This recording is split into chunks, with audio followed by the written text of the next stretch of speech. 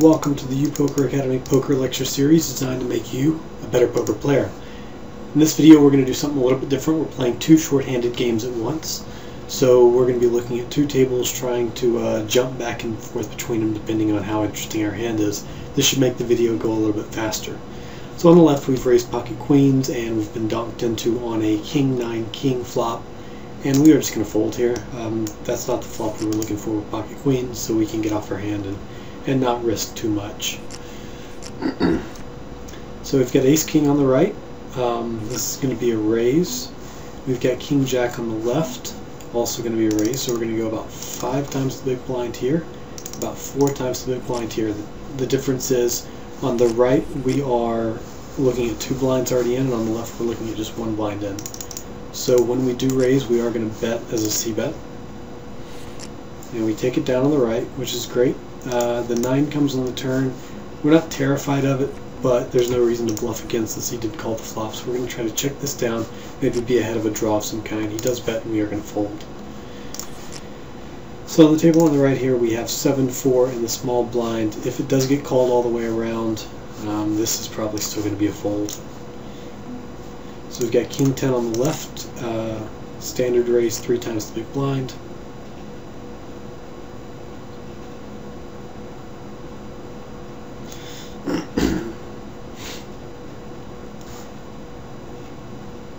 See over here, our, our 7-4 would have been a very, uh, it would have been a hand, we would have had a straight, but a very dangerous hand because it's very dry, we could lose a lot of money on this, and there could be somebody with the nut straight at uh, Jack-Queen.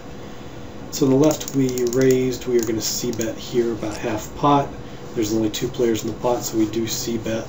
Um, it's a very low, very uh, wet flop, so we do have some outs with the overcards. We also have some outs with the diamond.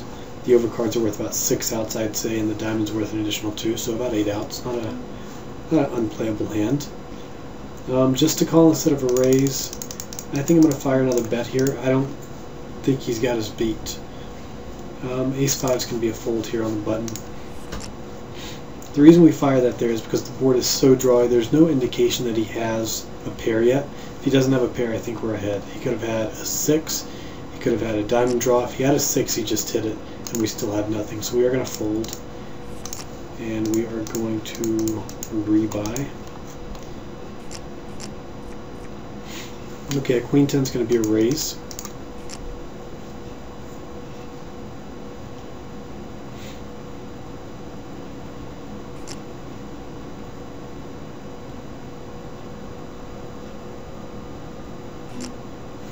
we got min re-raised you're always going to call the min re-raise. You're getting 2 to 15 on your money, putting in $2 extra to be in a 15 chip pot. So it doesn't matter how bad your hand is that you raise with, you're going to call the min re-raise.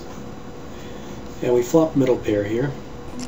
It's not a great hand, especially when that he limp re-raised, but a lot of players do that without an ace. They do it with a weak hand. I don't think he's got an ace, so he's most likely going to fold. Alright, over on the right we're going to fold. It's been raised to us. Now they both called, but we did turn what is probably our miracle card. So now we've got 26, the pot's 42, we're just going to put the rest in. Jack 3 is going to be a fold.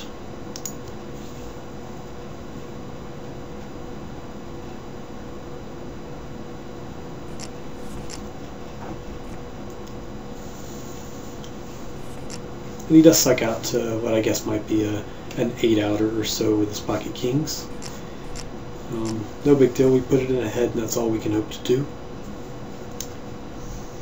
So here we had a player post out of position. Um, we've got king queen in the big blind. We have a limper and we are going to be raising this. So we've got several limpers all the way around. We expect PD to fold.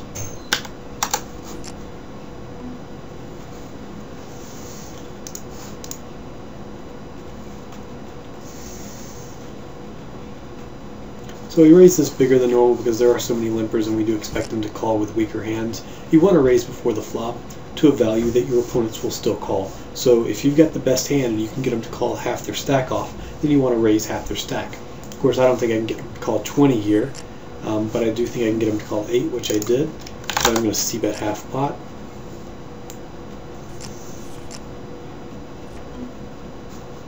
This flop doesn't hit lots of people. Um, he might have a lone ace or something. If he did have an ace, he's just hit a straight. And he did just have queen eight, so we did take it down with king high.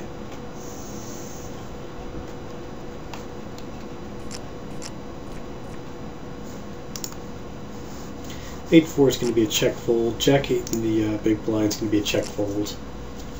No reason to play weak hands just because we're better than our opponents. Uh, the secret's going to be to uh, the way we, we prove that we're better than our opponents is to play better hands than them and, and stack them. If we've got weak hands, we're most likely getting stacked ourselves.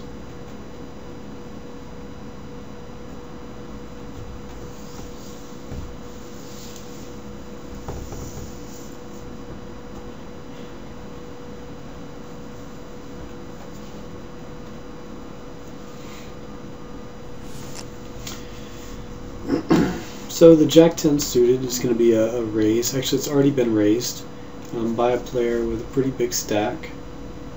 This might be a good place just to call since he's shown some aggression. I don't think he's he's super strong here, but Jack 10 is one of those hands that you can call and play for a, a, a big hand, or you can raise and play for a top pair. It's really right in the middle. So in that case, since we did get the min raise, we do know we're going to have a sizable enough pot for ourselves, and we did hit a great hand. So we are going to try to extract the maximum possible. And we're going to do that by betting probably 5 here. We're not really scared of anything that could come out. On the right we're going to raise our 5-4 to 3 times.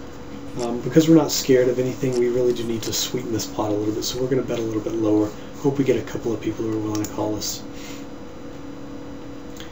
So the 5-4 raise didn't go great. We got two callers, and the ace did come, but we do have a pair, so all is not lost. So we're going to c-bet here. So here we're going to go on and, and, raise our bet up a little more, betting 15 so that we can put the rest of our stack in on the river if he calls here.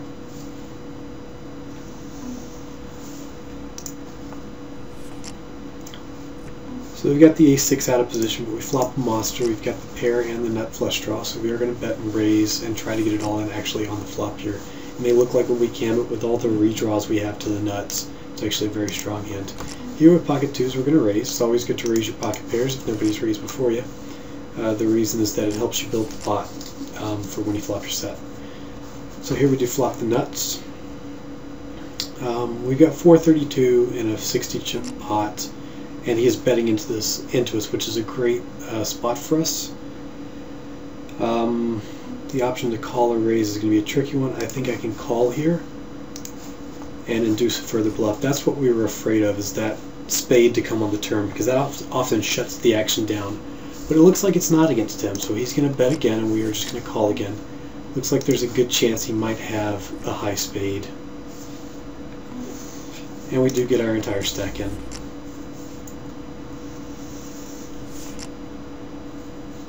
So if we'd raised on the flop, he would have folded and we wouldn't have won all that money. So that's why we opted to call.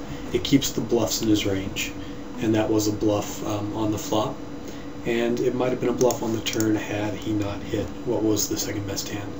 So here he's raised to 40 and we've got Queen Jack. He's been raising a lot. So Queen Jack's a fair hand to re-raise here. Um, ideally we want to fold or we want to flop a great hand. We don't flop a great hand, but we still have to c-bet it and he calls.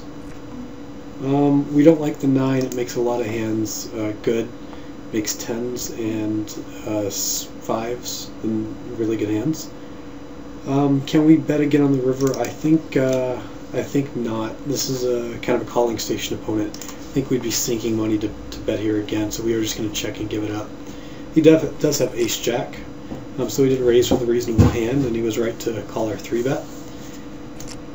Might have been a good spot to fold on that flop to the c-bet. Uh, a lot of our hands absolutely smashed that flop, so by not folding on the flop, that might have been a small mistake. But it worked out for him this time, so we can't we can't fault him for it.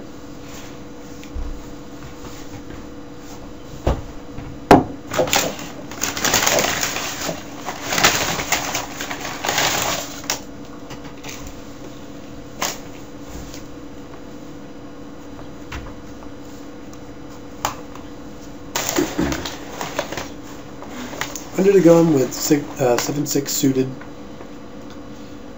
We are six-handed with a limper. It's probably not the best spot to raise, but it's not a mistake here.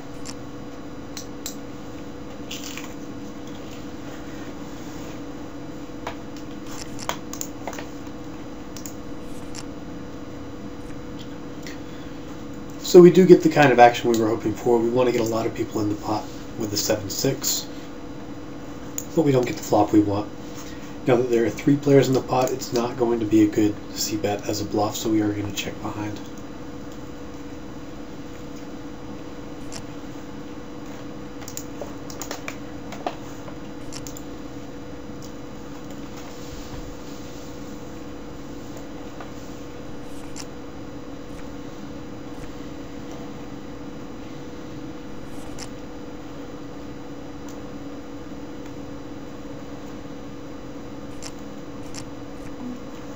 So the a7 is not going to do us any good. We're just going to fold it.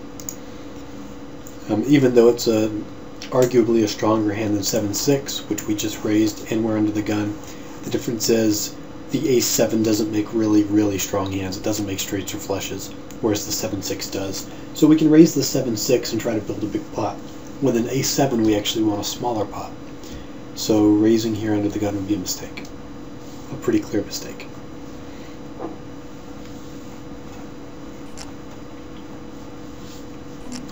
So against the raise, our queen 7 is no good.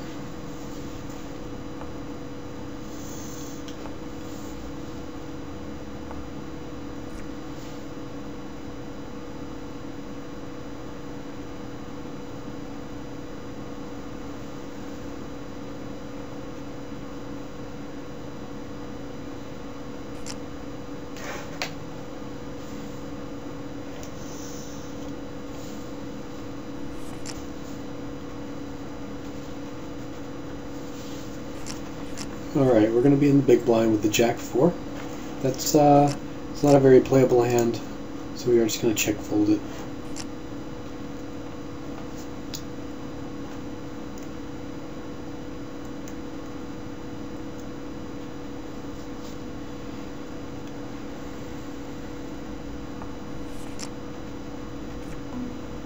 And that flop we don't like at all. There's too many people in the pot to bluff at it.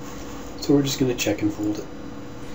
And here with the ace-3 against a raise, a re-raise, and a re-re-raise, uh, for one, this just illustrates how crazy this game is playing. Um, but for two, this is a great spot to be in because if we'd had, you know, ace-queen there, we would be happy against getting in, getting it in against at least two of these players. Maybe one of them has like pocket kings or something, but the chances one or both of them have weak hands.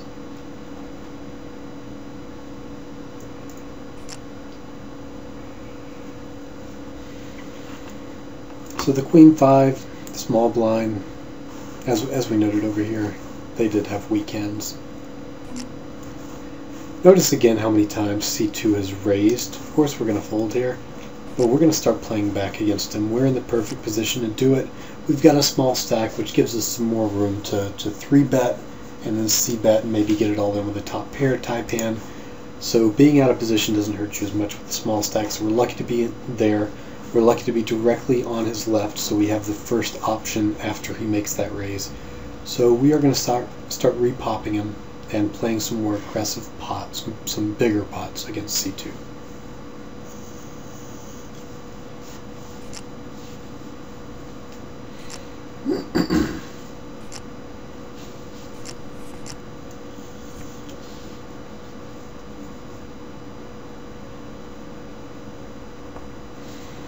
You did raise with pocket eights there, which is a reasonable hand to raise with. So when somebody starts raising a lot, I mean, they could be running very, very hot, or they could be, um, you know, getting a little bit too aggressive. It's important to note which is the case. I think he's he's simply raising too much to be running that hot. He has shown down several good hands when he does raise, but I think if we went through the hand history, we, we might find some weaker hands so why don't we do that real quick? See if I can find the hand history.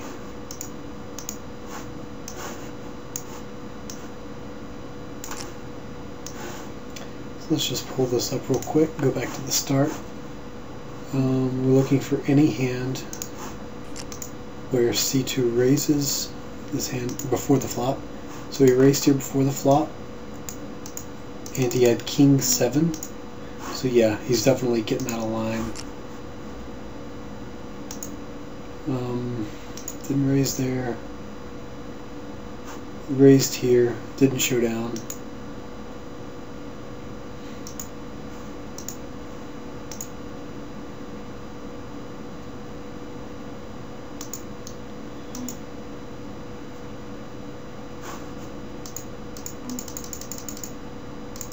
So we're going to fold on both these tables. Go back to looking at our hand history.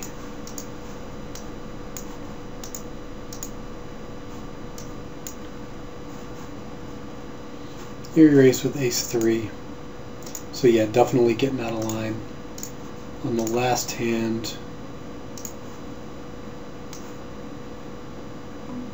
didn't shoot at. Okay, so this was raised under the gun and called in three places. We have to repop this. We have a great hand. So we're going to raise high enough that we might can get this heads up. But we'd be happy taking down this pot right now. Um, we'd be more happy if we'd had just one caller.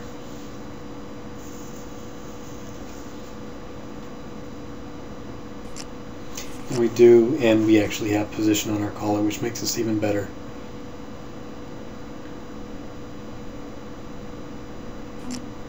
and he's going to lead off into us. Um, unlike when we had the nuts here, we have to defend our equity, so we are just going to re-raise. He does have a draw, pretty good one, but we do uh, win the pot. So if we just called there, he could have uh, he, he got he would have gotten away cheaper than if we re-raise. So it's important with a dry board like that when we don't have the nuts to protect our equity. That uh, takes precedence over keeping bluffs in uh, in their range.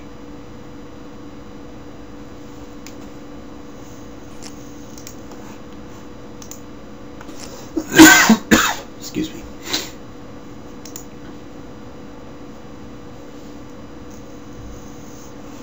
So the 8 queen here. And he didn't raise. To me, says he's got a pretty weak hand. We're going to raise and try to isolate him.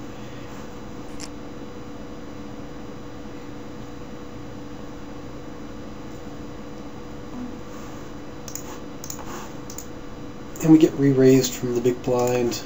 Obviously we're just going to call the re-raise. It's still putting 30 into a 220 chip pot, so we have to play it. We're not going to re-raise them again. Um, and we do flop, we gut shot straight draw, so we're 1 to 8.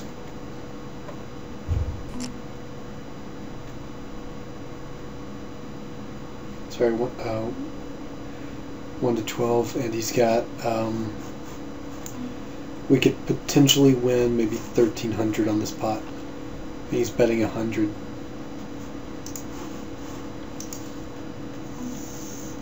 We would have to stack him every time we caught our hand to call here, so we are going to fold. So here we're going to raise our ace jack on the button.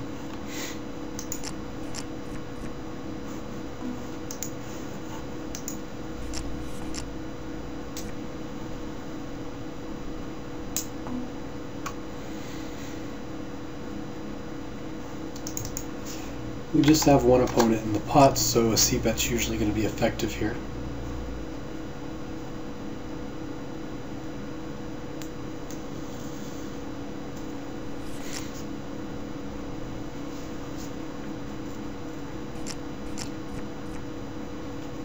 So the queen jack suited is going to be a raise. And it's already been raised, but it's one of those spots where it's worth a re-raise. We got to build this pot up a little bit more than just two chips will get us. This is different from the Jack 10 because we are not quite in the best position and our hand is stronger. So we are just going to re-raise this. But again, it's really on the uh, the border. You could call, you could re-raise. so the pocket fives, we're not in great position, so we are just going to check it. It's been donked out with a min bet. Um, against three players, we're not supposed to c-bet. So we're not going to raise the min bet. We are going to call it though because we do have outs to call it.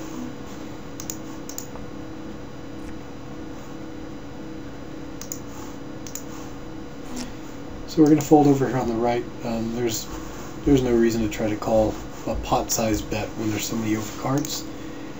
And here on the left, uh, we're going to give up and check it down. Because even if we were to bluff out two of these players, one would probably call us with a 7 or a 10 or something.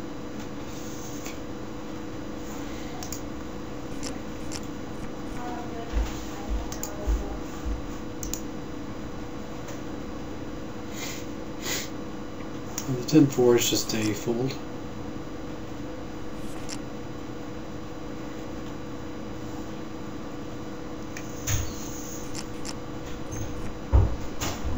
Nine three is no good. Eight three is a fold.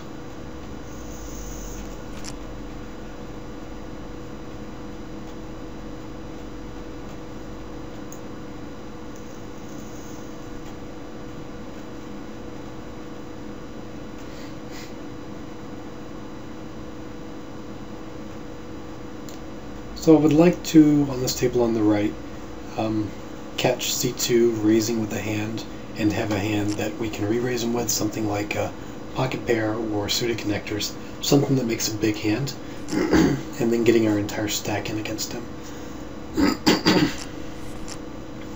so here it was re-raised to him and he re-raised back. To me that indicates he's got a very, very strong hand. Um, misplaying it, of course. A lot of times he would be better off making a bigger raise there um, but simply the actions indicate that you might have a strong hand.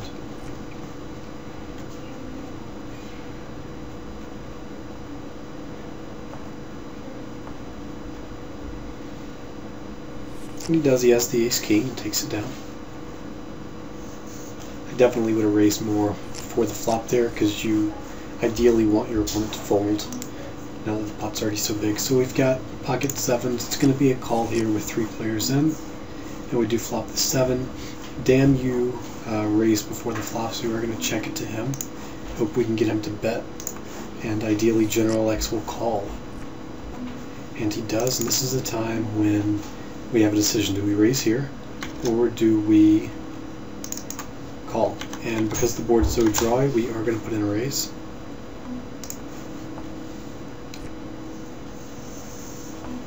It's going to be jammed on us, so we are going to get all in here. On the right here we have the gut shot. It's not really good enough to bluff with, so we're just going to check it down.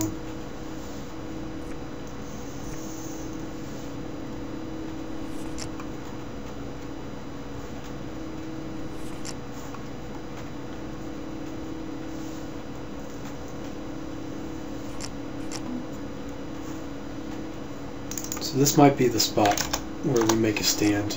It's not the greatest hand to re-raise with here, but his hand's most likely pretty weak. Do hit a hand, so we are going to c-bet. We would always c-bet whether we hand, had a hand or not. We don't like um, the jack of spades, but I'm going to bet again. I don't think he's got the ace. I think he will fold at this point because he doesn't like the jack of spades either. And he hasn't folded yet. Um, he might have the ace. He very well could have it, but he just has the queen. I don't think he would have folded the river to a bet. He has kind of a calling station. So while we did have the right idea to put him on a weak hand and say that he didn't like the ace, in this case it didn't work because he did have a queen and he was happy to go to the felt with that.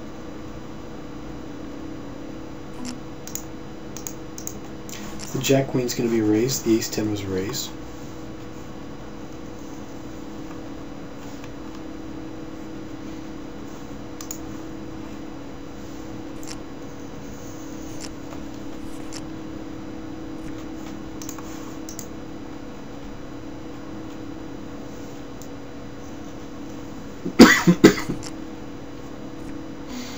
So we turn, uh, we flop the top pair.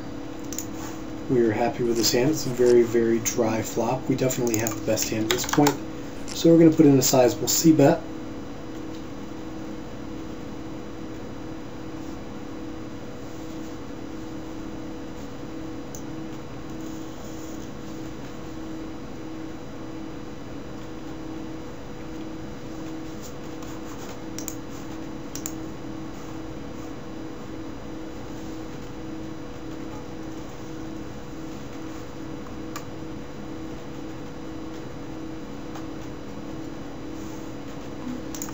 5, we're just going to fold.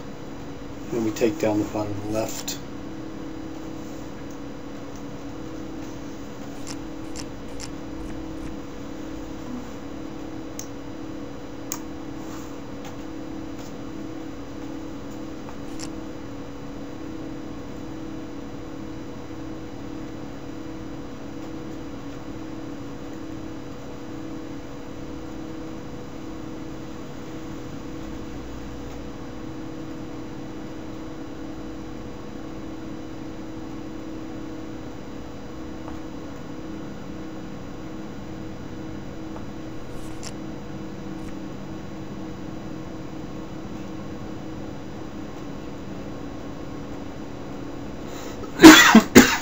Excuse me.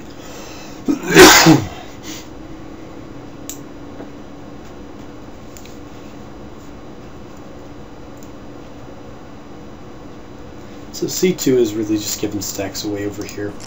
I'm going to rebuy. Uh, I've been playing a little bit short stacked over here with the intention of building my stack up um, with a lower risk. But after seeing how much money C2 is giving away, I definitely think we have an edge on this table and I'm going to go in and rebuy to exploit that edge to its full profit potential.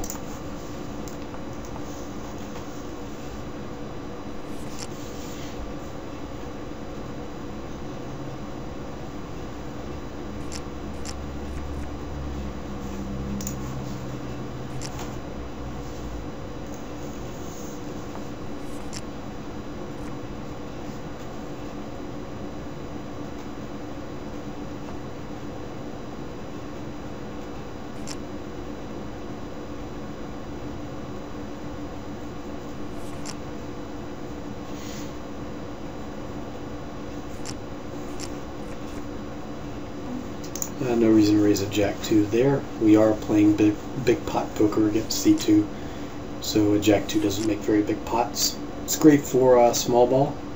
If you are just raising and c-betting and getting lots of folds, any hand is going to be good for that. But for the strategy we're playing right now, we're looking for big cards and suited connectors. So not much here. Just the bottom pair. Uh, so we are going to check and fold this.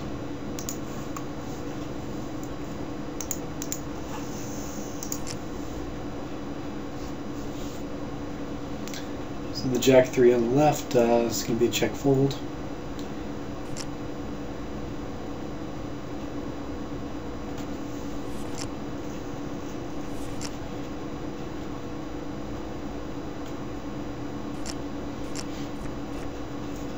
Pocket 10's in a great position. Um, he didn't raise. That indicates probably a weaker hand, so we are going to raise, try to isolate him. But unfortunately his hand just wasn't good enough to play with us there.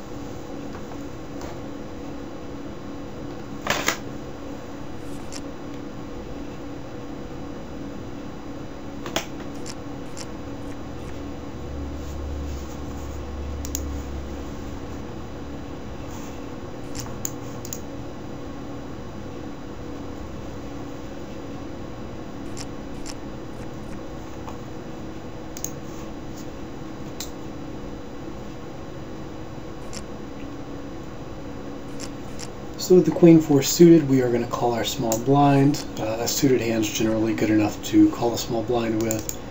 And we do flop top pair, so it's time to lead out. Hopefully shut this hand down.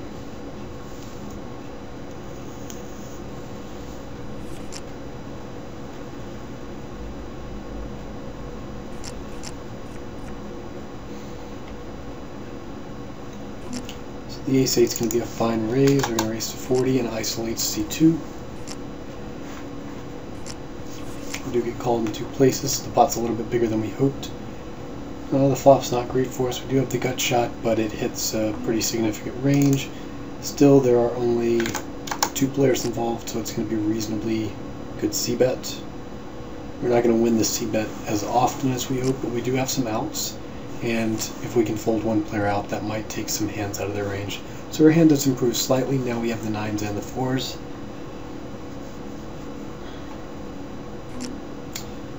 Um, and he's bet small, just 100 into a 250 chip pot, so we can call that just on pot odds. And we do hit the 9. So right now we've got the second nuts. The only hand that beats us is an 8 jack, which is very unlikely for him to have.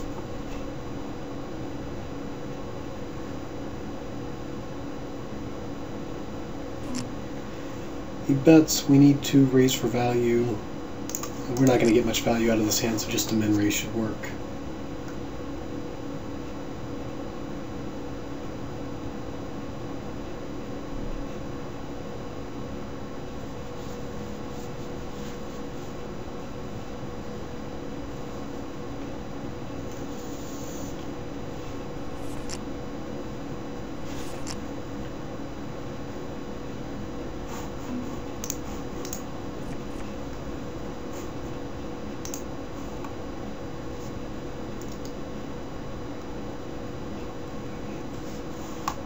We have another game starting up. Um, see if I can't rearrange this video so we can see all three games.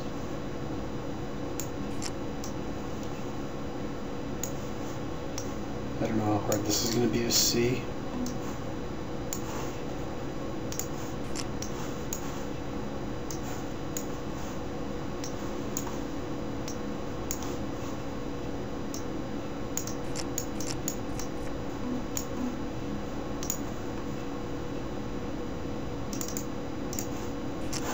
That is pretty hard to see, isn't it? Okay. So we're going to shut down probably one of these games so that we can keep playing.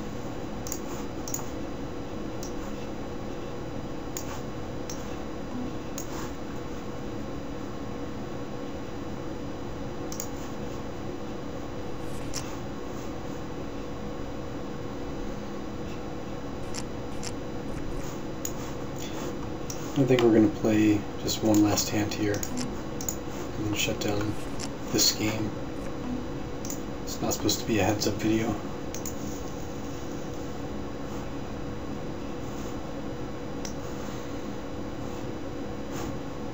one thing to note is that when you are playing heads up and you do want to sit down and sit out, make sure you always play your button.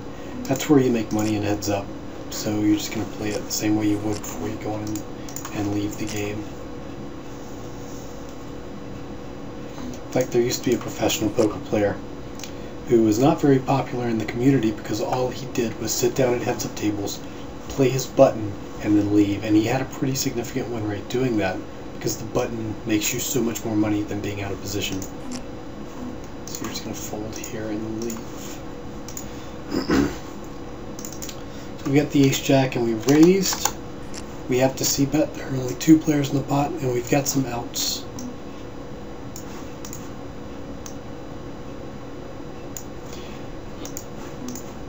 and C2 with the call most likely has a 10 or a 6. We do river the jack, which are our outs.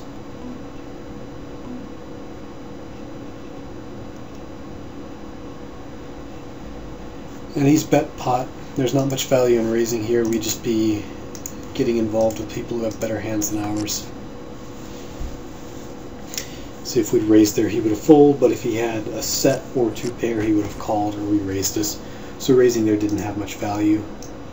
We did the best we could by inducing the bluff.